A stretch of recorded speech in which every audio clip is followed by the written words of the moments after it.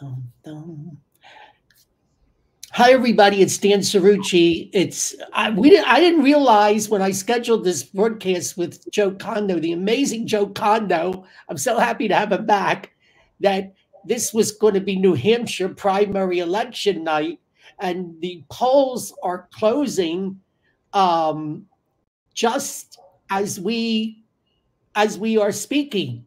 So, first thing I'm going to do, Joe, is I want to go and check and make sure that we are on live on Facebook and Twitter. Sure. And I want to put make sure that my live feed on Facebook is um is um is going out publicly to without any let's see i'm just checking now to see that we're on facebook it said they were having a problem getting me on Facebook. Let's see again.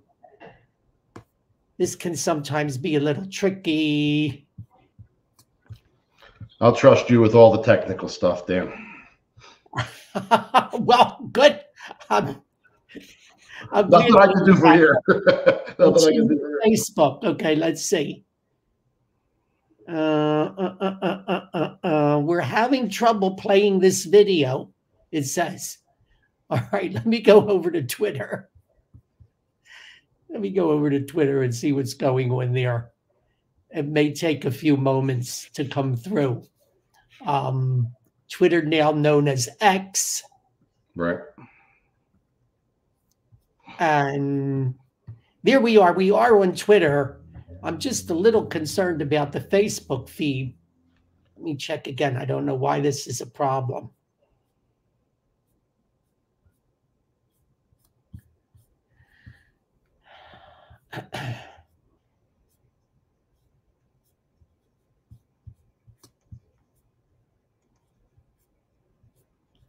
Let me, I'm going to, what I'm going to do is I'm going to remove something.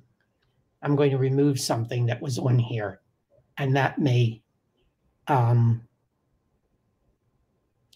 that may make this easier. Now let's see.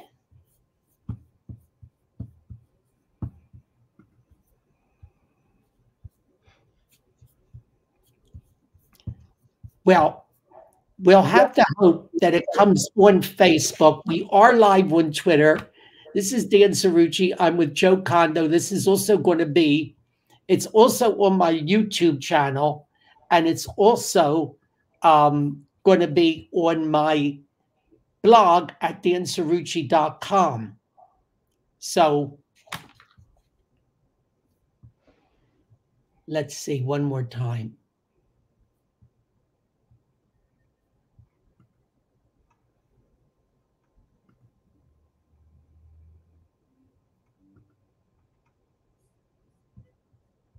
I don't know why it's not coming through on Facebook, but we'll just have to proceed. And I will, what I will do is I will pick it up and I will put it on Facebook later. But anyway, Joe, it's great to have you back here. Great to be back, Dan. Thank you for inviting me. I appreciate Where, it. I always point this out that Joe was the last elected Republican, one of the last elected, one of the last Republicans to be elected here in Camden County, New Jersey. That is We're not going to say how long ago it was, Joe. you were like a teenager, weren't you? When you were I wasn't, wasn't quite a teenager, but I was uh, I was 26, I think, when I 20 no, well 27 when I got elected. 27. You were one of the youngest people ever to be elected a county freeholder. One of the youngest to be the freeholder. Director. I think I was proud. I think I was the youngest Republican ever to be freeholder director. If, if you George, became freeholder director.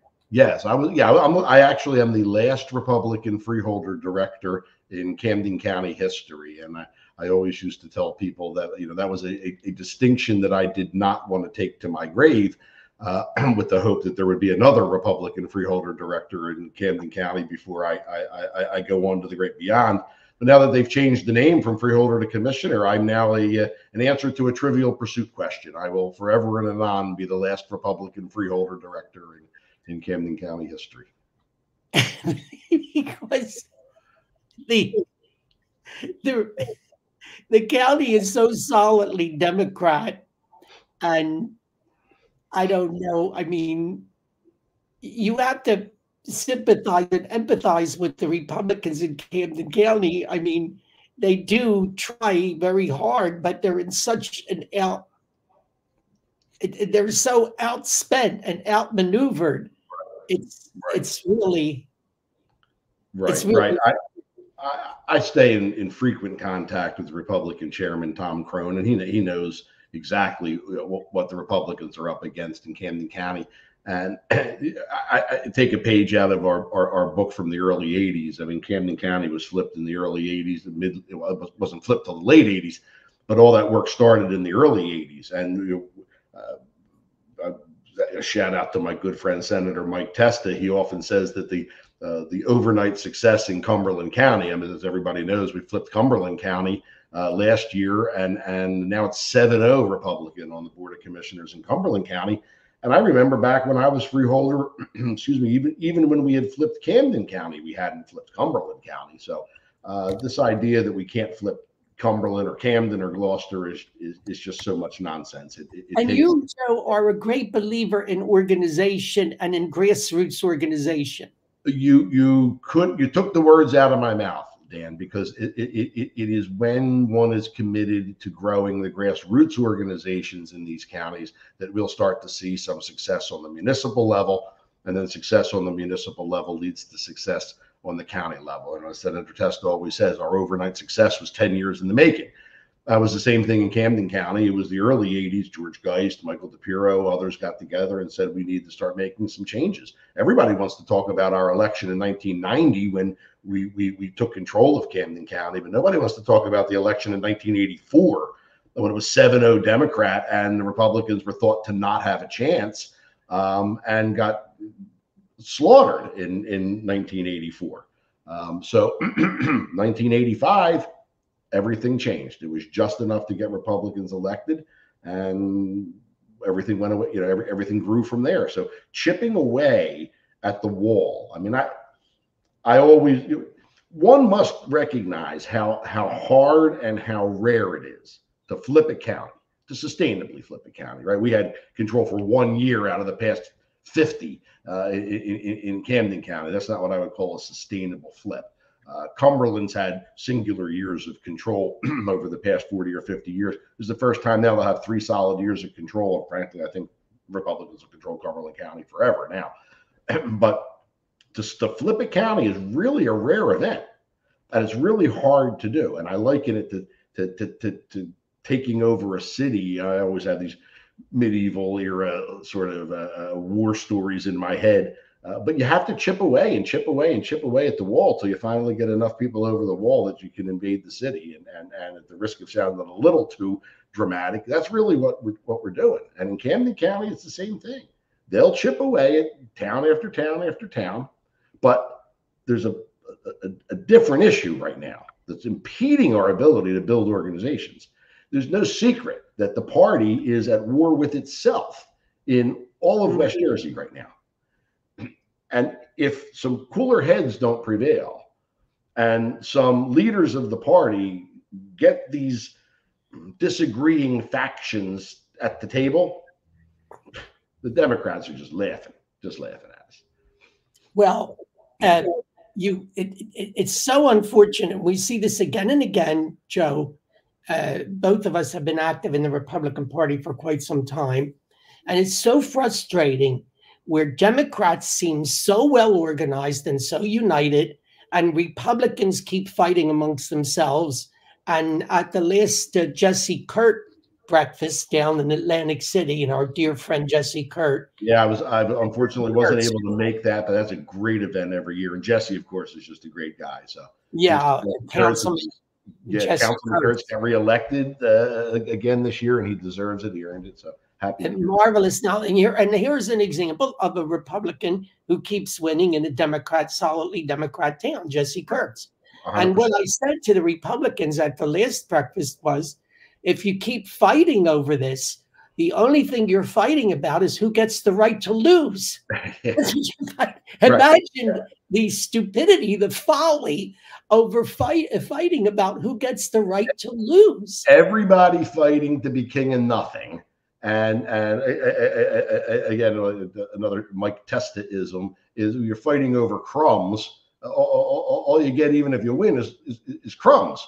And and so yeah, it's it's a difficult. I, I could speak for hours and hours and hours on the the the, the, the problems that result from the way our party is organized. And because of the poor organization of the party, it can't build a functional organization. It's dysfunctional to its core. It's set up completely around, you mentioned Republicans in, in, in, Camden County and how they're working so hard and in many ways beating their heads against the wall. That just happens to be because that's where they live.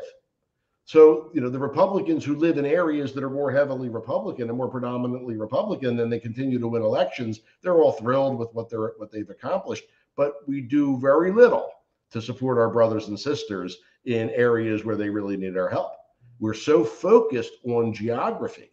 People, you, you have to work where you live and you have to live where you work. Oh, God forbid you want to go help somebody in another county. Oh, like who are you to come into my county? Like, what are you talking about? We need Do to send where the fight is. You think that the state Republican Party could do more to help Republicans in counties uh, that are not traditionally Republican to help them build a better organization. You say the state Republican Party, you mean New Jersey? Yeah, in New Jersey, yeah. There's there's a state Republican Party in New Jersey? there hasn't been a state Republican Party in New Jersey since Tom Kean was governor. If there's a problem with new with Republicans winning in New Jersey, it's because the state Republican Party is non-functional and functionally non-existent. And and yes, I said that, and that will get out, and there will be comments made on that. But the state, the New Jersey State Republican Party is non-functional and functionally non-existent. It, has no power. It has. This goes back to the organization again. The organization is so courthouse centric. It's so driven by the county organizations that if you're a powerful Republican organization, you completely ignore the state party.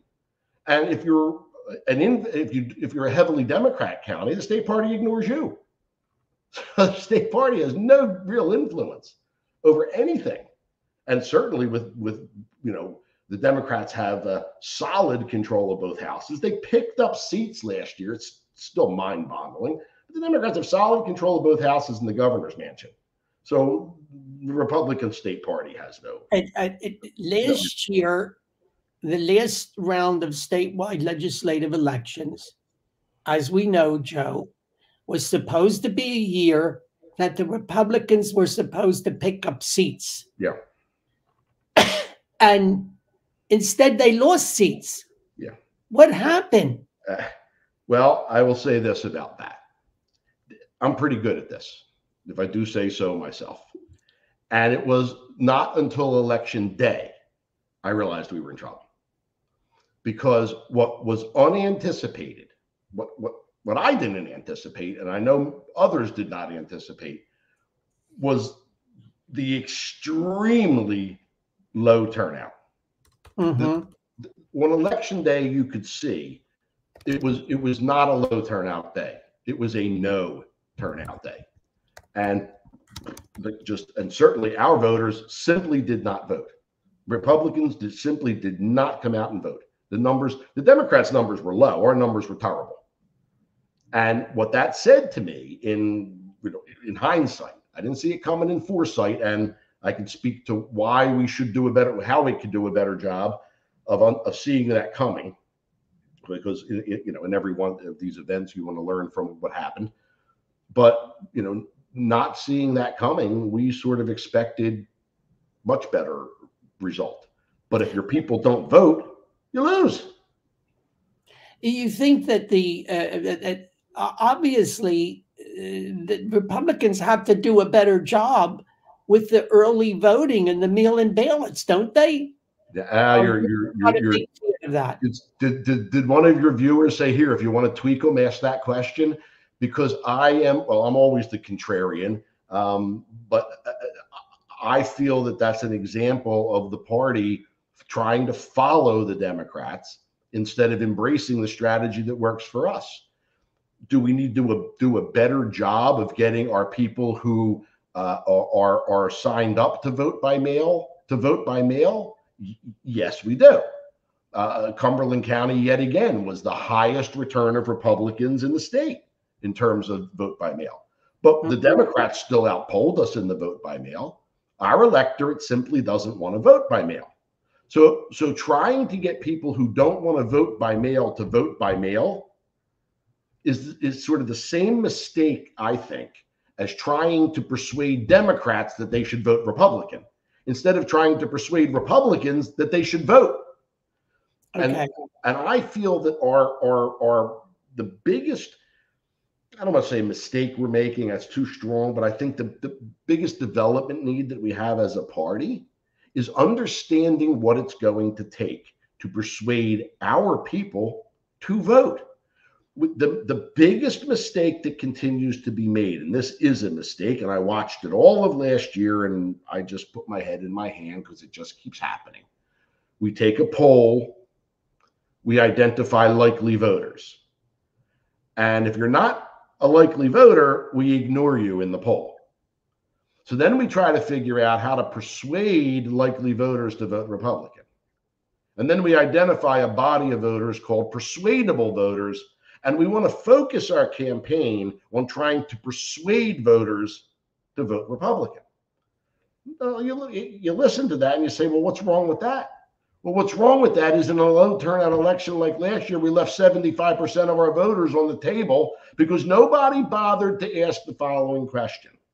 If you're not likely to vote this year, what could we do to get you to vote? What would make you a likely voter? What would get you to sign up to vote by mail? What would get you? We sent out, we're, we're, we're going to do a better job of vote by mail. You started with this earlier. We send out vote by mail applications to people who vote at the polls every year. They vote at the polls every year. They don't want to vote by mail. And even if they do, like, they're not the people we should be trying to attract. We're trying to get Republicans to vote by mail. We want to get the ones who voted in 2020 but haven't voted since. We're well, they're not likely voters. I know they're not likely voters. That's the point. We have to try to encourage them to, to, to vote. So I've always focused on the voters who are dismissed as not being likely voters for the same reason, right? It's easier, more effective to get someone who's, I would rather try to persuade somebody who's predisposed to vote for me to come out and vote than to try to persuade someone who's predisposed to vote against me to vote for me. Because all I've done in that conversation is antagonize them enough to make sure they come out and vote against me. So you think we need to do really do a more in-depth job and that we're forgetting a lot of people.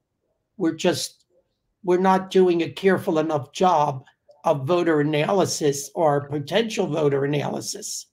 I, I could I could not state it better than you just did. Our voter analysis is, is is I think sorely lacking, and we need to do a much better job of voter analysis. We should know on election day before the polls close whether we won or lost, because we should know who voted, and we should know before election day who's going to vote for us and who's not going to vote for us. And if we know who's going to vote for us and who's not going to vote for us, then we want to get out the people who are going to vote for us and ignore the people who aren't going to vote for us. It's our opponent's job to get those people out. Well, why are we doing our job, doing their job for them? Well, a high turnout favors Republicans. Only if it's Republicans that are voting. Right. Why So, do you think so few Republicans came out to vote the last time around in an election that they were supposed to do well in New Jersey? What I will, I will, I will. why were they they were were they not motivated or what? ding, ding, ding, ding, ding. I, I, I say I will, I will uh, freely admit that I, like everybody else, is trying to Monday morning quarterback last year's election. But my analysis is quite simple, and I, I, I, I could not have been more emphatic earlier when you mentioned the state Republican Party. I truly believe that in a state election, because let's let's let's let's let's look at the four-year cycle, right? I'm going to state the obvious for a minute, but but to show a point. In the 2020 election, this is the typical four-year cycle. The 2020 election is a presidential election. Everybody votes in a presidential election, and the presidential politics drive the results. 2021 is a gubernatorial election. People aren't as aren't as jazzed about the gubernatorial election as they are about the presidential election, but the gubernatorial election gets everybody's attention. Right. It gets a lot of people's attention. Yeah, it It's a lot does. of people's attention because people love to vote for their executive. Now the next two cycles kick in. Now you have the federal election, but it's a federal midterm. So maybe there's a U.S. senator at the top of the ticket, or maybe not. Maybe it's just House. Well, when you have a U.S. Senate election, certainly in New Jersey, right? Nobody pays that much attention to a U.S. Senate election. Let's just call it what it is. Uh, Democrats are going to win the U.S. Senate election in New Jersey, and everybody goes, okay, and that's it. Republicans haven't fielded, you know, a really good candidate since probably since Christie Whitman. So that doesn't even generate a lot of enthusiasm. When it comes down to a House race at the top of the ticket, in most congressional districts, the incumbent's a lock. So there's no reason to come out and vote. Now, I always say when I'm dealing, I'm always dealing with county commissioner candidates these days. I tell them frankly, and I, I say this because I was the equivalent of a county commissioner myself as a freeholder. Right. Well, did freeholder then, but you were commissioner. Yeah. Right, right. And, and, frankly, I always thought commissioner was a better name, not for the reasons they changed it, but I always thought it made more sense. You go outside of the state and you say I'm a freeholder, like what's that? I'm like that's a county commissioner. So, but the the the the um uh uh, now I got I got sidetracked on. Oh, I always tell the candidates that no one in the history of the world ever woke up on election day and said, "I wasn't going to vote today, but you know what? I got to get out there and vote for those county commissioners." Like no one goes out and votes for the county commissioners. Elections are driven, right? Now you've been around long enough to laugh at that because you know it's true. And and so elections are driven by the top of the ballot and the bottom right. of the ballot. You know, often if there's a, a, a and, and, and most, municipal race, most people don't even know who their state legislators are. Well, that brings me. You'll notice I left off the fourth year of the four-year cycle, which was last year. The top of the ticket's the state legislator. And that's exactly right. No one even knows who their state legislators are. Yeah. I mean, I know state legislators love to think that everybody knows and cares that they're state legislators, but for the most part, people don't know or care who their state legislators are. Legislators are, and again, we take these polls of likely voters. Well, if you're likely to vote in a legislative year, you're more likely to know who your state legislator is. Take a poll of all registered voters and see what kind of results you get. You're going to find out nobody knows who their state legislator is. No. Right? So, no. so that even legislators who have tremendously high name recognition in an off year where only people voting are the people that pay attention to these things. But that's what happens last year. State legislatures at the top of the ticket.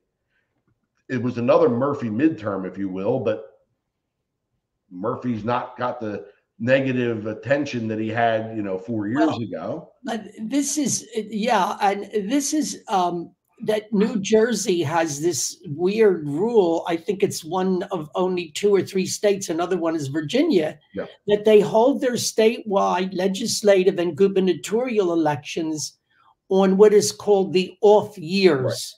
Right. right. So they hold them during years that there are no national elections. Right.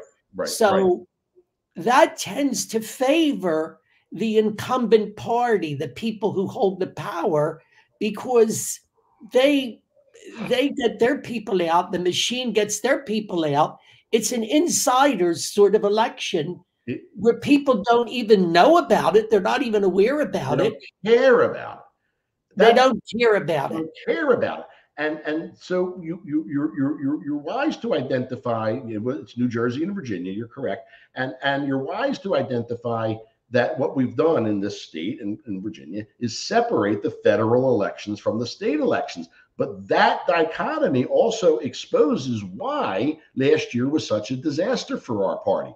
And you're right, the income there's the power of the incumbency. They have the money, they have the machinery, they have the patronage, they have all the things that it takes to crank out their vote in a low turnout election. But why is it such a low turnout election? Because nobody cares about the state legislature. Mm-hmm. They simply don't. Nobody cares what the state legislature is doing unless it affects them directly. But for the most part, people simply don't care. And it's and that brings us back to it's our job as Republicans to point out to them why they should care. Make them care. Ask them what would make them care. You know, are we or should we maybe take a poll of that? I, I, I alluded to that earlier if you're unlikely to vote this year, why why aren't you voting? all politicians are the same. Okay, then you're then why vote at all? Right. So, but we can show you the difference. Not if we continue to chase after the Democrats and behave like Democrats and say, "Oh, the Democrats are winning on this issue, so we ought to probably move to the well, left. to be a party that's for the, you know, for, uh, the same, only lighter, you know, would be like Democrat light. Yeah, right, and you and I have had this discussion. People a choice, you know what President Reagan said. Reagan, right? We need to we need to paint in bold colors. Right, if, right. Exactly. If we don't paint in bold colors, people won't know the difference between us and them. Right, right, exactly. And Senator Testa says it all the time. You, you don't beat vanilla with French vanilla. I mean, you need to give people a meaningful uh, uh, uh choice, uh, two different options. And I, I, this is another. I mean, I, I don't want to be too hard on the party, right? Because then it's like, okay, well, who are you to tell us how to run our party? But the, at the end of the day, the, the, the party, I, have seen it all my political career, which you, you didn't want to mention the number earlier, but I'm coming up on 40 years of this. And and after 40 years, I've seen us win and I've seen us lose and I've seen us lose some more and then I've seen us win and it's always the same thing. When we have the courage to stand up and present ourselves as a viable alternative that will be better than our opponents, we win elections. And now I'm going to take another shot at the state party. The state party sits around, the hangers on, they sit around and sit around and sit around until the people are fed up with the Democrats enough to vote Republican. Then they all jump in like they did something and won an election. And then eventually things go back to the Democrats because the Republicans didn't really win. The people just got fed up enough to send the Democrats a message. And once they got the message, Republicans don't last very long because they're not voting for the Republicans statewide. They might vote for Republicans in certain areas, but they're not voting for the Republicans statewide. They're voting against the Democrats from time to time. The Republican Party ought to recognize that in New Jersey. I'm just looking at the figures from New Hampshire. There's about a quarter of the votes in. Yeah. Wait, they're just being updated. 25% of the votes in. it's now 52 46. It's been holding That's with 6%. a six point spread. Now, right. Joe, um, I don't think six points, considering what the polls showed, I think if Nikki Haley keeps this thing within single digits, she's going to declare a victory tonight, Joe. What do you think? I think, well, I think she will. I think she should uh, declare a victory. It's, it, I'm looking for, I saw something, of course, Trump's projected to win now by both CNN and Fox News, like big surprise yes. there, with 18% of the vote in.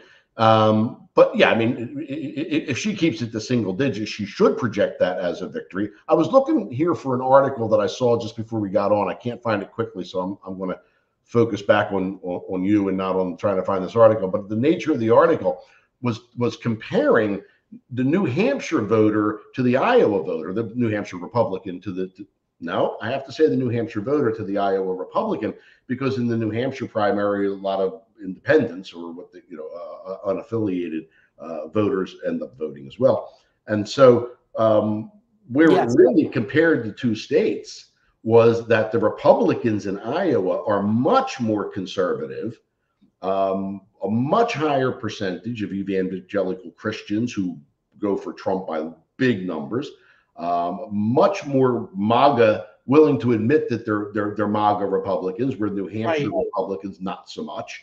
And so it's kind of not surprising that Nikki Haley, who at this point now, and, and let me let me make a, just a quick comment about Nikki Haley. Um, two years ago, I would have given anything to see Nikki Haley run for president on our party's banner. And if Nikki Haley gets the nomination this year, I will be just thrilled to death because Nikki Haley should be our president. I will support her as well. Absolutely. Yeah, absolutely. Nikki, Nikki Haley. So I, I have nothing negative to say about Nikki Haley. Um, I don't think she can get the nomination in the end. I think Donald Trump has it locked up. Uh, but I'm happy to see, and this is where I say she should declare victory. I'm happy to see that what we're well, I'm happy to see what we're seeing. Uh, at the risk of being redundant, uh, Nikki Haley is the only one left. So all of the non-Trump vote in the party is going to go to Nikki Haley. We're learning from New Hampshire tonight, and long way to go before this is over. But we're learning from New Hampshire tonight, and I think we will learn from continued primaries what true percentage of Republican insiders, right? Republican primary voters are the insiders of the insiders, right? So, so we're learning what percentage of the insiders have become disenchanted with Donald Trump as our presidential nominee? And, and that information, if it's channeled positively, can ensure a victory for our party in November. If it if it's allowed to become divisive, then game could be over. And this is where we don't have any better national leadership than we have state leadership. There's no national Republican Party. So there's no national leadership. It's Trump and everybody else. And the majority of Republican primary voters. He's such a huge personage. He's such yeah. a huge persona. Right. You know, right. he takes all the oxygen out of the room. It's now 7% spread. Yeah. And I see that the New York Times estimates at this point that Trump will win by 11%. That would be a double digit win. That would be at now, least in my mind, a double digit win would be significant. But if she keeps it to single digits, then she's going to have bragging rights. You agree? Uh, almost. I agree that if she keeps it to single digits, she's got bragging rights. If she keeps it to single digits, I would declare victory. Right? She's not going to declare a, a, delegate victory, but she's going to declare a victory for her. Right. But would it be out if it's eleven percent? And that's that's where I push back slightly because I don't think eleven percent is enough. Okay. I think, I think Trump's got to win New Hampshire by twenty percent. Oh, I don't think that's going to happen. I don't think that's going to happen, which means, and, and I, I, guess I didn't finish the thought. He's got to win New Hampshire by 20% to put an end to her. Okay. He's not going to win by 20%. Uh, very unlikely, right? At this point, it looks like he's not going to win by 20%. No one predicted he would win by 20%, which means Nikki Haley's going to be around. Nikki Haley's okay. not going to drop out of this race 11%, 12%, 15% even. Nikki Haley's not dropping out of this race. And that will embolden her, especially going into South Carolina, right? That will embolden her because she could win South Carolina. Well, some people say she can, some people say she can't. I mean, uh, I didn't say can or can't, I said could. yeah, she could win South Carolina. But she's not going anywhere if she stays within 15 points. Now let's look at New Jersey, and this is we're still at 25% of the votes in in New yeah. Hampshire, so we've got three quarters of the way to go. Um, New Jersey, the night that he lost to Phil Murphy, and that was an excruciating loss. It was such a I was so so disappointed when Jack Ciattarelli lost. Yep. But the very night, or the, the oh, let's say uh, the, he waited a few days and then he conceded. And then when he on, on the day that he conceded, he announced he was running again in 2025. Right. You think it was a good idea that uh, to announce right after you were defeated that you're going to run again? Um. Yeah. Yeah, I think that was a real. I think it was a real good idea for Jack Ciattarelli's campaign. Okay. Right. And and I, I want to be clear when I, when I say that. Uh, what I mean when I say that is is that Jack made it clear. I'm not. I'm, I might be down, but I'm not out. That's uh-huh. the kind of fighter I am. That's the kind of leader I am. And I'm not just going to come back three years from now and throw my name into the primary. I, I'm, I'm going to keep fighting. And he has. He's been all over New Jersey for the past three years. I'm going to keep fighting for New Jersey. I'm going to keep fighting for the cause of the Republican Party. I'm going to keep fighting for the people. And I'm going to keep my name out there. And I'd really kind of like it if everybody would get behind me and we can run for governor for four whole years instead of running for governor for four months in 2025. So, do I think it was a good idea? Yeah. Some folks in the in the real inside were like, "Wait a minute, this this this this, this guy just got beaten. He's running around like he's he's well, yeah, oh, there, there's that, but what are you really complaining about when you say that he's not giving anybody else a chance to run? You want to run, run. There are others that are throwing their name in the in the ring here to run against them. Why? I don't know. They're trying to make names for themselves, maybe. I don't know. But, but Jack has basically been running ever since the end of the last election, and as you and I know, he has been everywhere. I'm going. I'm going to. I'm going to. I'm going to push back on that statement a little bit. Jack's been running since two years before the last election, right? So, so, so he's been running for. He's already been running for four and a half years. So, so, um, and, and nobody's out there working harder. I don't know how he has the energy. He's everywhere all the time. Uh, but but but yeah, if, if I wanted to be governor, and let there be no mistake about it, you couldn't pay me enough money to be governor. But if if, if I wanted to be governor, I'm what else do you have to do between gubernatorial elections except run for governor? See, that's one advantage that Jack has in that he's he doesn't have a business that he really has to run anymore. And I guess I shouldn't say that. I don't know what he does as far as the business goes, so I'm kind of talking out of school there a little bit. But he he, he certainly has the time and the resources to, to campaign the, the way that he does. That that that's clear, and he, he's not holding an existing public office, which some people right. see right as a Uh, a detract. Uh, not a, a, a, what am I trying to say? That, that, that's not that's not so great for him. That doesn't. Uh, well, why? So our sitting legislators, executives, county office, anybody else that wants to run, they're busy doing what it is that they're doing, and they're focused and committed to and, and duty bound, frankly, to, to, to, to, to, honor their commitments to their offices, where Jack doesn't have that. He doesn't have to be in Trenton fighting with the Democrats every week. He can just take shots at Governor Murphy and run around the state and curry the favor of the Republicans that are going to. He'll he'll, he'll get the column in probably. He got the column in every the every county in the state last time. Don't you think? Don't you think Bramnick, Senator Bramnick, would be formidable if he chooses to run? I mean, what I hear is Bramnick is going to announce very very soon yeah. Uh, I heard he was going to announce uh, in a few days, like on the 27th. Yeah, I, I I don't know when he'll announce, if he'll announce. It's, they say he's going to announce. Would he be formidable? Jon Bramnick knows what he's doing. He'll, he'll he'll put together a real campaign. Will he be able to pull? So here's the other thing we still have the column vote. I know there are people who don't like the column vote. I'm a big believer. I wouldn't even have a primary election. I'm so far the other extreme when it comes to our party selecting candidates. But but Bram, Bramnick is not not going to pull the columns away from Ciattarelli in very many counties.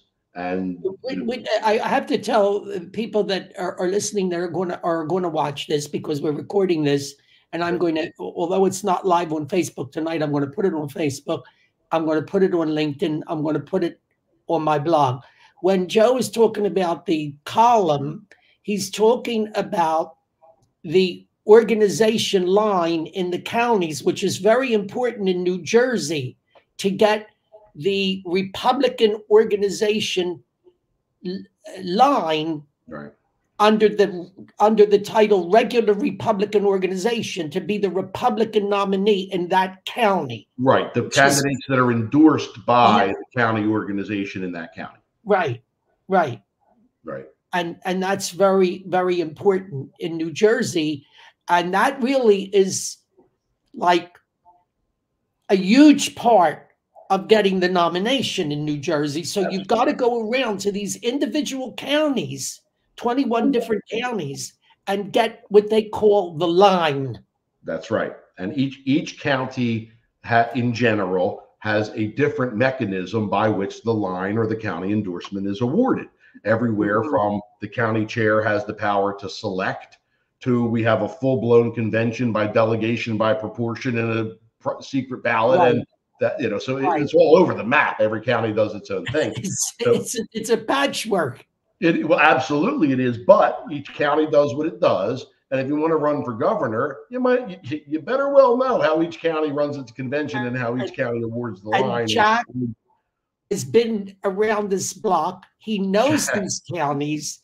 He's That's been right. in every county. Uh, he's been in every little town, every right. town, every crevice of New Jersey. I mean, it's just the man, I don't know how he does it. I don't the, the fortitude that it must take, but he knows the mechanism and he knows the counties and right. and the people and the Republican rank and file voters know him.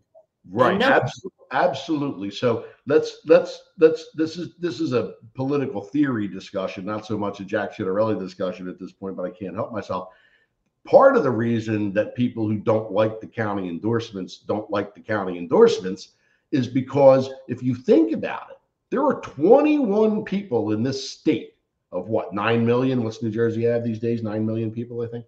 There are 21 people in the state of New Jersey who theoretically get to decide who our candidate for governor is. And those are the 21 county chairs. Because if you're a county chair and you're running your county, whatever convention style you have, one would expect you to deliver the party line for the candidate that you want to endorse. So if I'm Oh. running for governor, I need to know that these 21 folks are on my side. Now, a county chair who wants to be a tyrant, especially in a county that isn't completely controlled by Republicans, isn't going to last long as county chair. So, of course, the county chair has to get the support of you know their own parliament or their own county committee members, their own screening committee, however they however they do it, their own delegates to their convention. So they do need to have the support of the rank and file for their selection. And that's again where Jackson absolute master. He gets the support of the rank and file Republicans in all of those towns.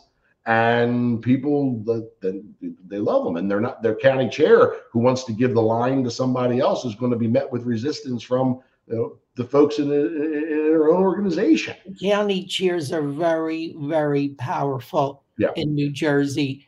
Every state is different. That's Yeah. the way our federal system works, thank God. Yeah. I think it's a wonderful system. The Don't- fact that we don't have that the national elections are not centrally controlled by some central body Right. is very important that the elections are run by the states and the counties is a very important part thank god the founders the, what they created of our federal system Uh, yeah, you, you you and I are completely agreed on that. Completely agreed Yeah. on that.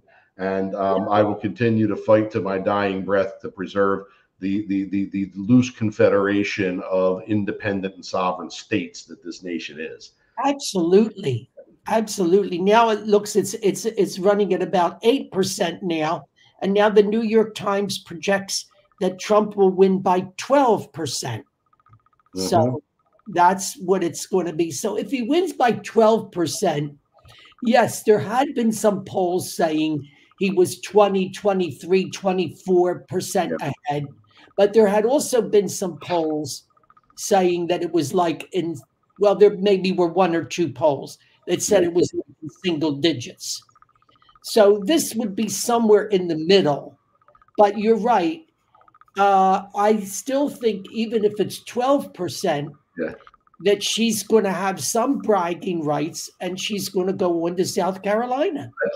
Right, and so maybe maybe we, we have we've created a trichotomy where if if if if, if the president smokes her uh, twenty percent or more, uh, maybe the governor decides to bow out. If the governor with, you know, is within single digits, she's going to declare that a victory, and anywhere in between, um, Nikki Haley's staying in this race, uh, and and and you know, Yeah. President Trump's going to have his hands full for a little while. 28% of the votes are in now. I say it's like 8% right now.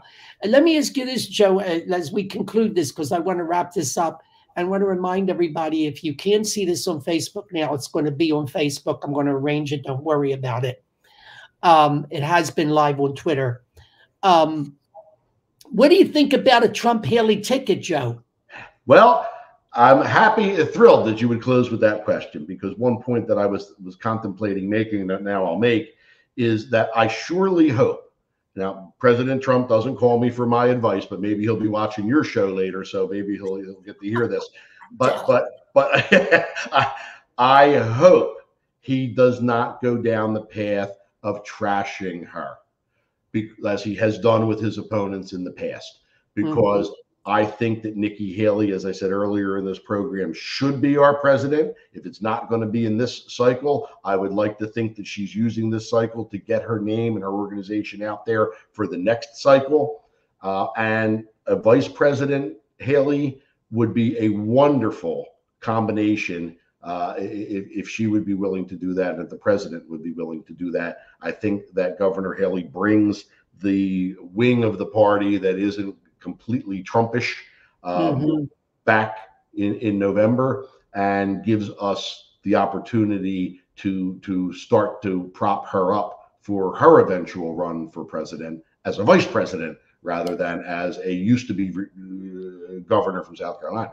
I think it's a hell of a ticket. And let's face it, whoever the vice presidential nominee is, Joe, this is going to be unique because that person is gets the, the jump, the leg up on the presidency in four years. Okay, throw, not eight years, four years. Four years, right? I'll throw. You only serve one term. Right. I'll. I'll. I'll. Well, if, if, if, this is where age comes in because President Trump could. I, it's not. It's not, neither above him before, nor beneath him to resign after two years so he can run again for four. But that that that that's real. That that's real chess game. Uh, but but I would close with if not Governor Haley, then who? Who else does the Republican yeah. Party have to make a meaningful vice presidential candidate? Well, that could bring that could bring something to the ticket that would unite the party, and I think it would. Nikki Haley. Yeah, and I think it would scare the hell out of the Democrats if you had a Trump Haley ticket. I think it would scare the hell out of them. The only candidate I could think of better than Nikki Haley would be Kyrsten Sinema. And I don't know that Kyrsten Sinema is ready to get on a ticket with Donald Trump. Yeah. That so so I she's I, an independent now. Well, that, so right. So you see what happened, how long she lasted as a Democrat. You see how long she lasted as a Democrat. So, but I don't think for a minute that that ticket could possibly form. It would probably implode quicker if it formed. Governor Haley can hold her own against anybody, so she can certainly no, hold her own. No, she's very, no, she's very adept. She's very adept. Wonderful. She's very clever. She's very good on her feet. Yeah. She's staked out some very good positions. Um, and I think um, I think you're right that Trump should uh, he should not trash her tonight, no matter what happens. Right. He should, he should he should you know, run record. Line of communication open with her. Keep lines of communication open. Don't right. rule out anybody for vice president, including her. Right. I wouldn't rule out anybody because you don't know what the landscape is going to be. Right. Unlike but, eight, eight years ago, where he had to get rid of his competition in the Republican field, he does not have to do that this time. Right. What he should be doing is running on his record, which, despite the left wing press, was stellar in, in, in many ways. Right. And, and he, he should be trashing the Biden administration for all of its failures and pointing out what we all know. Exactly. Joe Biden's a shill for a Kamala Harris presidency. And if, if the Republicans don't run on that, call it what it is, Joe Biden is a shill for a Kamala Harris presidency, but they know she can't win. So they would rather end the run the system than put it to the public vote.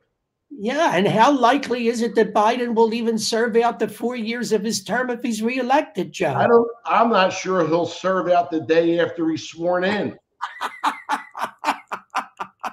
This idea that Joe Biden's running for reelection because he's going to serve another four years is a joke. I mean, you really have to be out of touch to think that this is anything other than a, than, than a cover for a Kamala Harris presidency. But the Democrats don't have the integrity to actually run her because they know she won't win. You said it all right there. You said it all right there. And thank you, Joe.